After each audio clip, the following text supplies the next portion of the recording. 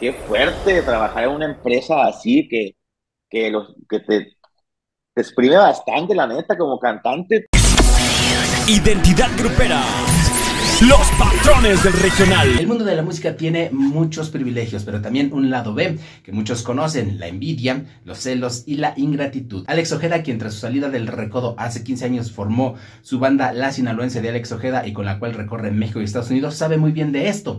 Y por primera vez habló sobre sus etapas en el Recodo y la original, tachándolos de ingratos y de no saber aprovechar el talento que tienen. Además, va más allá al decir que una de estas bandas lo forzaba a hacer cosas con las cuales él no estaba de acuerdo. Quédate para que te enteres de todo aquí en Identidad Grupera. Antes dale manita hacia arriba al video, suscríbete a nuestro canal de YouTube y pica las notificaciones. Después del recodo, eh, inicié este proyecto que se llama Banda La Sinaloense de Ojeda hace ya 15 años.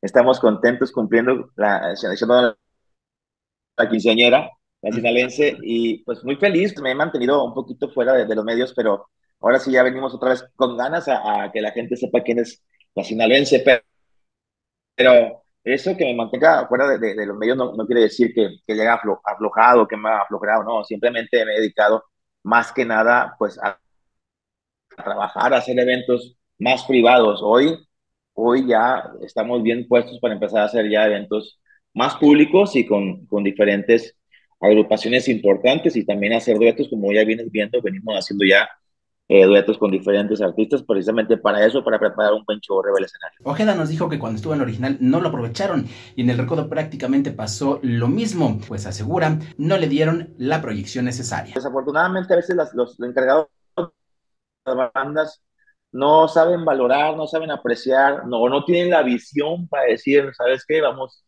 vamos lanzando a esta persona porque pues creemos que él tiene talento o algo y y pues así pasa desapercibido. En el recodo tuve, en, en, en la banda de Limón, en la original estuve tres años y nunca fui promocionado. Salí, salíme con el recodo y lanza una canción mía, o sea, decía, ¿para qué? Ya no estoy. En el recodo sí hubo un par de, de, de, lanzamientos conmigo, como la canción de Tus Palabras, como la canción de, de Hay Amor.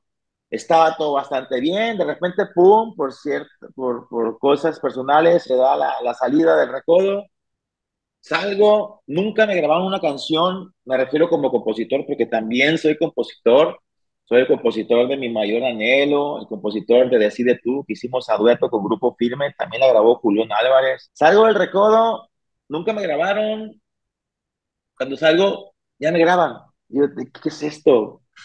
No sé, como que les da miedo en grandes cantantes, o no sé, la verdad, no, no sé qué, qué pasaría, ¿va? Solamente ellos saben y, y se quedó con ellos porque a mí nunca me lo dijeron. Por lo que asegura que él sí apoya y proyecta a su vocalista. Y tengo un cantante también que se llama Muy Bobadilla, no está porque él vive en Jalisco, muy buen cantante que también lo he lanzado y lo vamos a seguir lanzando, o sea, yo no me ciego, yo soy una banda, no soy solista, entonces, yo tengo un, buen cantante, pues también hay que lanzarlo. O sea, yo no estoy peleado con el negocio, que la banda crezca. En su etapa con el recodo nunca supo a bien si hubo alguna queja de algún otro cantante para que no se le diera la proyección, pues asegura que lo más importante para cualquier agrupación son las voces y da gracias de que hoy por hoy no se necesite tener una figura envidiable para poder destacar. No sé si sea un celo, no sé si sea problemas entre cantantes, no sé si mimoso, tal vez tuvo queja o la verdad no sé, son cosas que yo me imagino porque no tuvieron el valor de decírmela. No sé realmente qué pasaría, pero se me hace a mí pues un desperdicio no, no aprovechar los talentos de cantantes, pues porque yo me da, me da cura porque la verdad mis respetos para todos los músicos de todas las bandas, hasta de los más importantes, pero afortunada o desgraciadamente para ellos, yo siempre he dicho, así traiga los músicos que tú traigas, lo que a la gente le gusta, lo que a la gente enamora es la voz del cantante. Se acabó, sea guapo, sea feo, sea gordo, sea enano, sea lo que sea. Enamora esto, es la voz, la neta. Fíjate ahorita, yo ahorita me fijo en lo, en lo que está pegando. Híjole, vamos a hablar de Karim León. Eso es un vato gordito, llenito, de barbita, chido, o sea, bien agradable el compa y canta chido, tiene un estilo muy particular. Ahorita, lo que sea, pega el más flaco, el más tatuado, el más loco, o sea, lo que pega es esto, es tu, tu, tu imaginación y es tu voz, es lo que muchas grandes empresas no entienden y por eso están empinadas. Hoy las cosas son diferentes, sin embargo, antes asegura que las bandas o los dueños de las bandas les marcaban lo necesario para que estuvieran delgados y proporcionaran así una buena imagen, más que por salud, por vanidad. Antes nos mataban por ponernos a dieta, por ponernos mamados, por no estar gordos. Era, era un trauma que teníamos los cantantes antes de estar. está bien por salud, ¿no? Pero no, no por obligación que tengan. Tienes, tienes que bajar la panza y te vamos a mandar al nutriólogo porque así estaba el pedo, ¿eh? estaba bien grueso. Ahorita no, no, ahorita pega lo que es tu música, pega lo que tú interpretas, pega lo que tú compones, eso es lo que a la gente le agrada. Y qué chingón, yo eso sí se lo aplaudo muchísimo al público. Lo platicamos, Carlos, lo platicamos, hago mucho, con, comí mucho con Charlie Pérez también.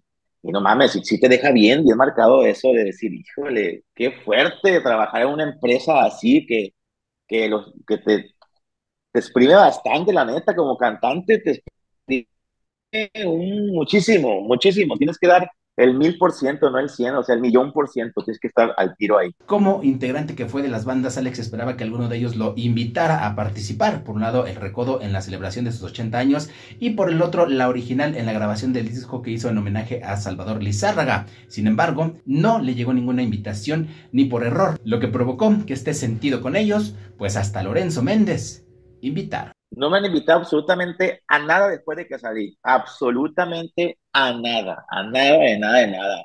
Compuse un par de temas para ellos, para recoditos nada más. Estaba como compositor de ellos, pero pues ya, o sea, eso ya se acabó.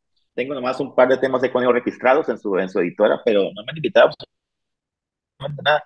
Hasta la original, a la original Van de Limón me quedé yo sorprendido.